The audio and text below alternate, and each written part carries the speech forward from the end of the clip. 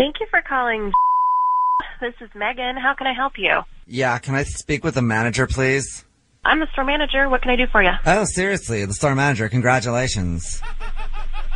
Uh, uh okay, thanks. Yeah, my name is Christian, and I was in your store the other day, and I want to lodge a complaint. oh, okay. Well, Is that okay with you, Megan?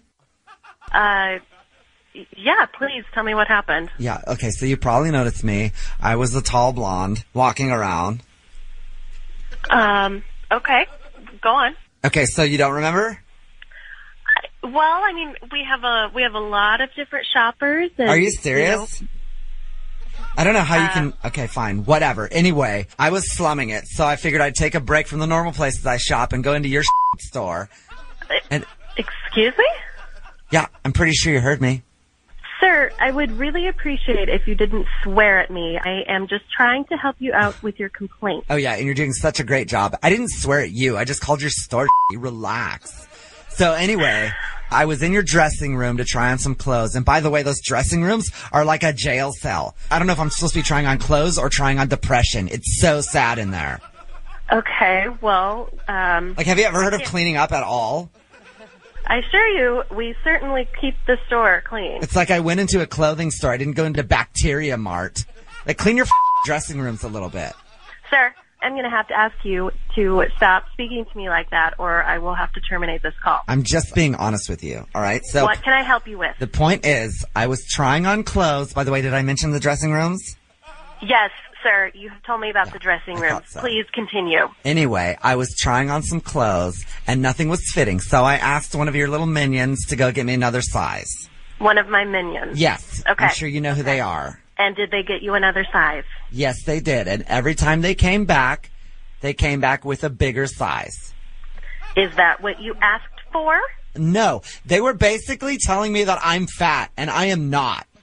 No one is intentionally trying to make you feel fat or like you need a larger size. They were simply trying to give you the best service possible by getting Oh, uh, you clothes that whatever. fit. Seriously, whatevs.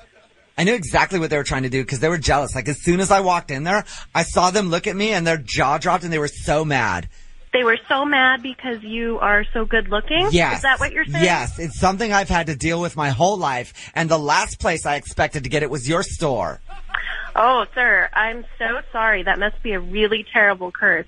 Am I picking up on sarcasm in your voice? Because I don't fing appreciate it at all.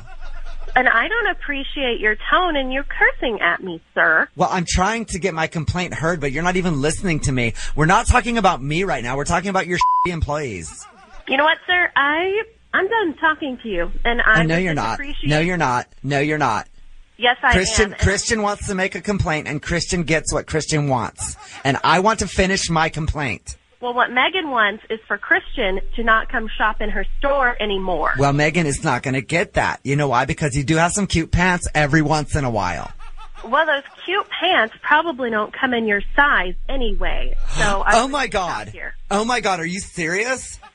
I'm serious, and please do not come back to my store. You are not Okay. allowed All right, fine. anymore. Well, you know what? You're going to get a lawsuit from me. What are you going to sue us about? Everything?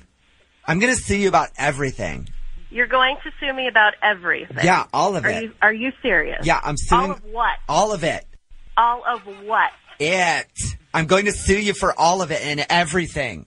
You are making no sense. Seriously? Okay, fine. Then maybe this makes sense. This is a prank phone call. Excuse me? Yeah, it's like a total joke or whatever. I don't understand. What's a joke? This is actually Jubal from Brooke and Jubal in the morning doing a phone tap on you. Your friend Kelly set you up. What? Are you kidding me? No, it's a joke. Oh, she says that you get a lot of weird complaints to the store and wanted me to screw with you. that was Um, awful. uh, seriously? Awful? Oh, great. Now I'm going to see you for that, too. Oh. I'm suing you for it and everything and calling this awful.